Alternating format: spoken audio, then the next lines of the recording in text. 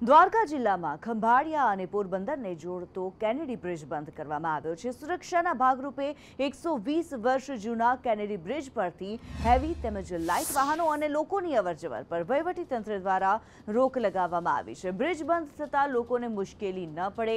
તે માટે ખંભાળિયાથી પોરબંદર તરફ જતા વાહનોને ચાર રસ્તા તરફથી ડાયવર્ટ કરવામાં આવ્યા છે.